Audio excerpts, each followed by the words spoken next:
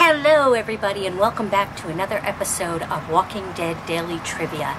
Today is Saturday, March 5th, 2016, and here are your questions from yesterday. Which character in The Walking Dead runs a walled town with 73 survivors? A. The Alderman, B. The Mayor, or C. The Governor? And the answer was C, the governor. Question number two.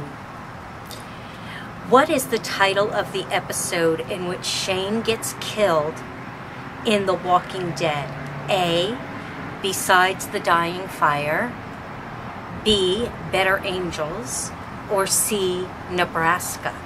And the answer is B. Better Angels.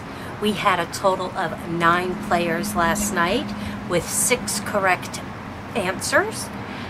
Top five are in fifth place, Real Madrid.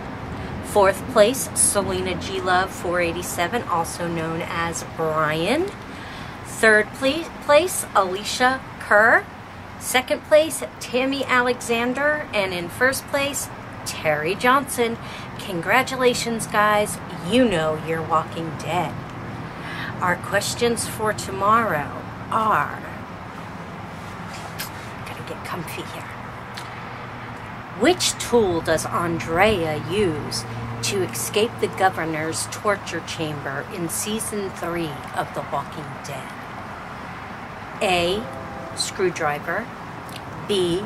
Pliers, or C. Wrench? Question number two. In The Walking Dead episode Chupacabra, who goes by horseback to look for Sophia in the woods? A. Glenn, B. Shane, or C. Daryl? There are your questions for tonight. I'm going to get back in the house where there's no zombies and be all nice and safe and warm and cozy. And we will see you tomorrow with the correct answers. Bye.